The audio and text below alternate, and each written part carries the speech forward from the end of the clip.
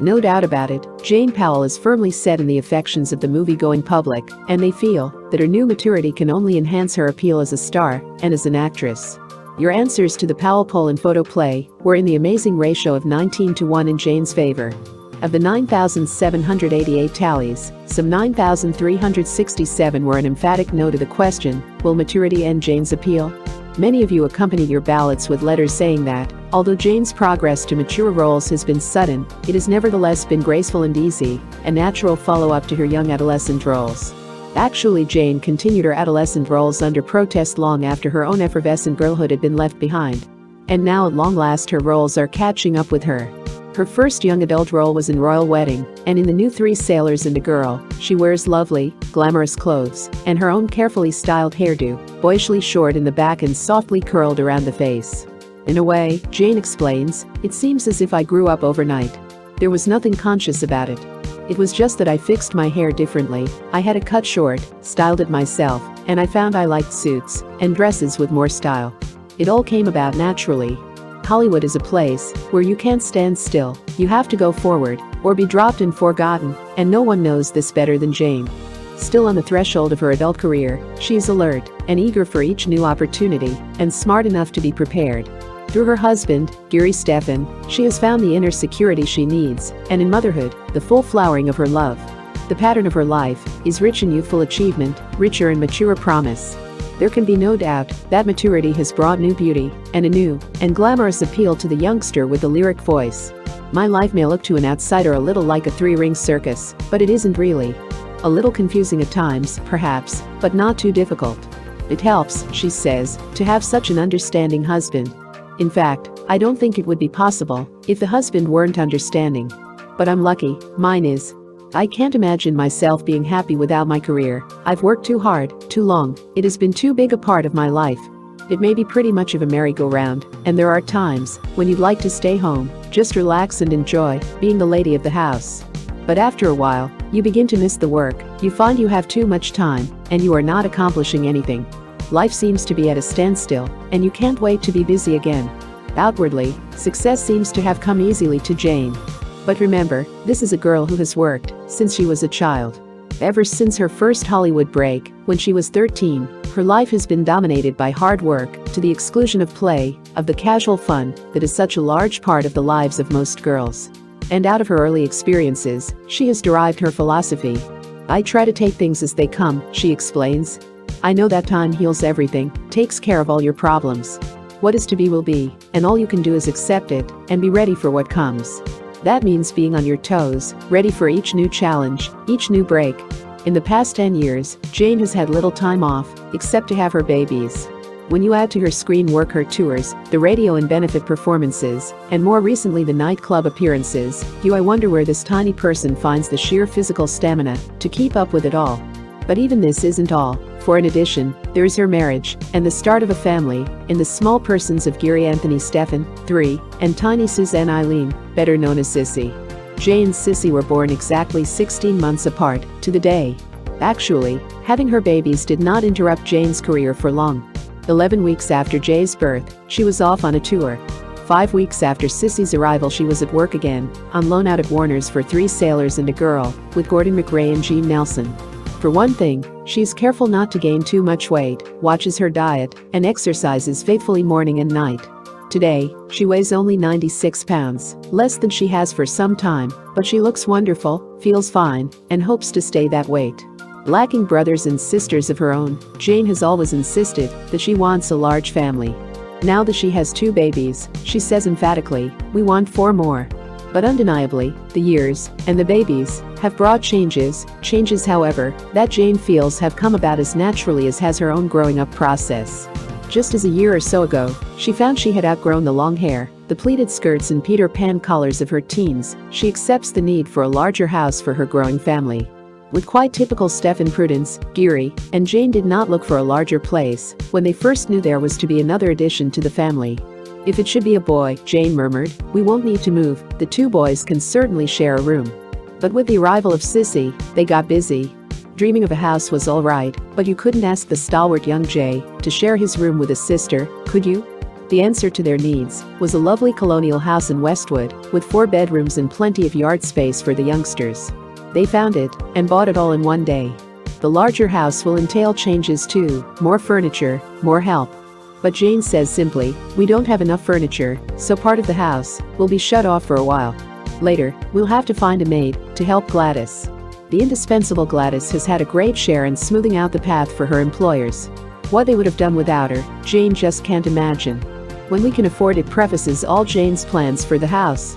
Someday they will put in a pool, but first, they will have to redecorate, a room at a time, and gradually acquire more furniture. Inevitably, in the Steffens' three years of marriage, there have been difficulties, adjustments. It is not career trouble, Jane hastens to explain, but just a matter of two people learning to live together. There have been some rough spots in their marriage. After all, no marriage is perfect. But no matter what, whether their disagreements have been trivial or serious, Geary and Jane have always talked them out. They've learned to compromise. The hardest compromise of all came several months ago, when there was even talk about their separating. But they both knew, then as always, that their marriage is too important to let anything happen to it. On Geary's insistence, a careful 50-50 arrangement has been worked out financially, but in other matters, when arguments arise, Jane insists a 60-40 arrangement is necessary, on both sides. You have to work at marriage, Jane believes, but if your marriage is the most important thing in your life, then you're more than willing to make sacrifices, to give everything you've got to it. It isn't a matter of trying to change each other, but to adapt to each other. Geary likes music a little less than I do. I care less for sports. I am nervous and high-strung. He is very easygoing. I like to have everything in its proper place. I'm a do-it-now sort of person, and Geary is inclined to leave things around, his socks, his neckties, a messed-up newspaper. The important thing is understanding. Jealousy? Yes, I'm jealous. I'm jealous of his tennis, if you want to call it jealousy. I'm going to take lessons when I have time, but I don't expect ever to be as good as Geary. Early in her marriage, Jane insisted that she and Geary liked all the same things, did everything together. As far as possible, she has made that come true. For a girl who had no time to learn sports, it has taken some doing to keep up with Geary, who was not only a professional skater, but an all-round athlete. Jane has learned to skate, to ski, to water ski not too well, she interrupts. I couldn't do any of those things while awaiting the babies, so I haven't had much time. She is frank about not caring too much for ice shows, but knowing that Geary never tires of them, happily drives a hundred miles to see one with him. He has a lot of friends among the skaters, for one thing. On the other hand, Geary definitely does not care for the theater, though he will go without too much protest. They both like movies and badminton, both like to dance, but seldom appear at nightclubs unless they are entertaining friends. Their friends are mostly non-professional, except for Elizabeth Taylor. Liz and Jane have been close friends since school days on the Metro lot, and husband Mike Wilding, the Marshall Thompson, and a few others.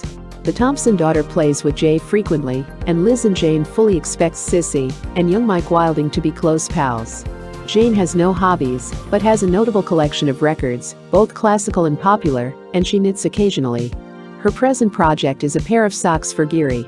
Of the two, Jane considers herself the more frugal. Geary joyously produced diamond earrings when Jay was born, and when Sissy arrived, happily presented Jane with gold earrings and a ring to match which he had made for the occasion. This was in spite of the fact that Jane had insisted that he should not give her anything. Jane's eyes twinkle as she tells about it, Geary's generosity is only one of his many endearing qualities, even when that generosity sometimes creates problems, as when he has to take a taxi because he has loaned his car to someone he felt needed it more at the time than he did.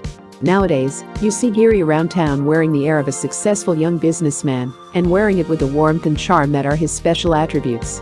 As an insurance salesman, he is doing very well. He takes his work seriously and works hard. By taking no vacations and developing opportunities in distant places, he manages to accompany his wife on her tours for at least part of the time. He doesn't feel he can afford to be idle, but by arranging business in Florida, he was able to join Jane there when she appeared in Miami, and they had a few days of relaxation and water sports. He can be a lot of help to Janie on the tours, and besides, these two do not take separations casually.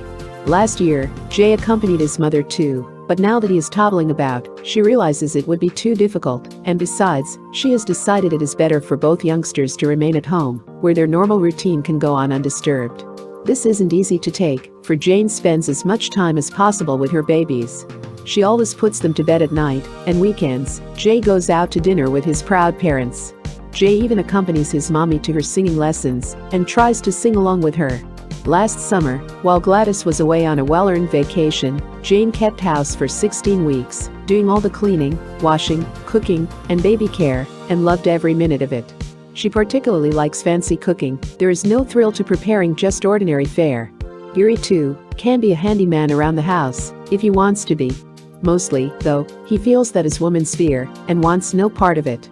Geary and Jane do not believe studying books of psychology is necessary in raising children. The important ingredients are love and common sense. They believe it is most important to make the children mind. Who, asks Jane, likes little brats? They have no definite plans for the children. How can we tell what they will like or want to be? Jane comments. Naturally, Geary hopes his sons will be athletic, but neither would ever try to force a child to be anything he was not. Jane balances her divided life with twin careers of nightclub singing and movies. This includes tours, radio spots and benefits, against the satisfying but ever-increasing responsibilities of home and family. More children can't make it any more difficult than it is now, she says, and laughs merrily. And when you ask her how she manages this three-ring circus, her eyes widen, she creases her forehead thoughtfully, I've always been busy, I have to be busy. And I've been so lucky. In other words, Jane puts first things first, and in that lies her strength. Three careers or one, it all adds up to a well-adjusted young woman who has matured graciously, off-screen and on. Photoplay magazine June 1953